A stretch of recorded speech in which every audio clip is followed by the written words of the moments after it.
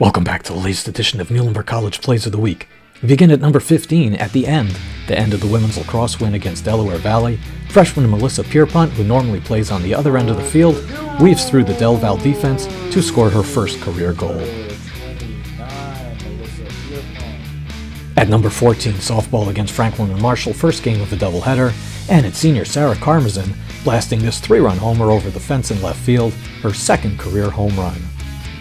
At number 13, men's lacrosse turning defense into offense against 9th ranked Dickinson. Off the shot at senior Kyle Lando with the ground ball.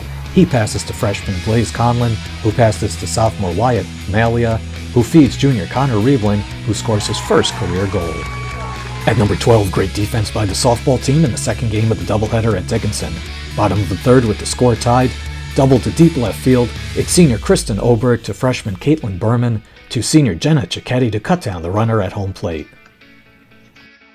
At number 11, senior Abby Dalton was way ahead of the field, the first time she ever ran the 5,000 meters this past weekend at the Moravian Greyhound Invitational. Her time of 17:49.94 won by 48 seconds and is the best time in the metro region this season.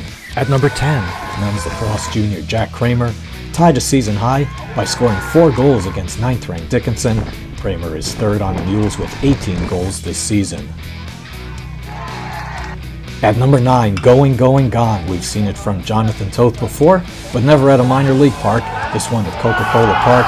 It's the ninth home run of the season for Toth. That ties a school record for shortstops set 40 years ago.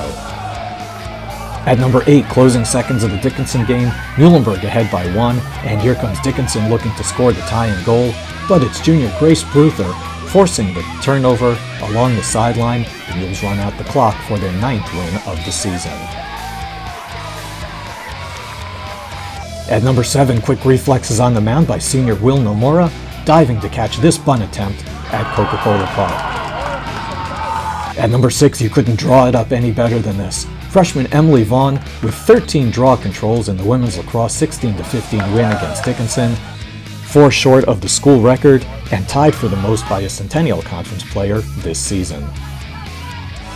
At number 5, senior Cora Bridgers was named Centennial Conference Pitcher of the Week after tying a career high with 12 strikeouts in the Mules' win against F&M in the second game of the doubleheader. Bridgers pitched all 11 innings to get the win, the 23rd of her career. At number 4, sophomore Dylan DeMagistris broke the school record in the hammer, a record that had stood for 37 years. His mark of 155.7 is the new school record. At number 3, it's 3 goals in 25 seconds for women's lacrosse against Dickinson. First, it's junior Samantha Eynon with the unassisted goal, then off the draw it's sophomore Nicole Steiner, then Steiner feeds senior Madeline Dill. 3 goals in 25 seconds to turn an 8-8 tie into an 11-8 Mule lead. At number 12, bottom of the 13th inning at Coca-Cola Park, junior Caleb Tereska on first, and it's senior Thomas Rodgers with a short single to center field. Tereska tries for third, and when the throw gets away, the Mules have a walk-off win, 4-3 in 13 innings.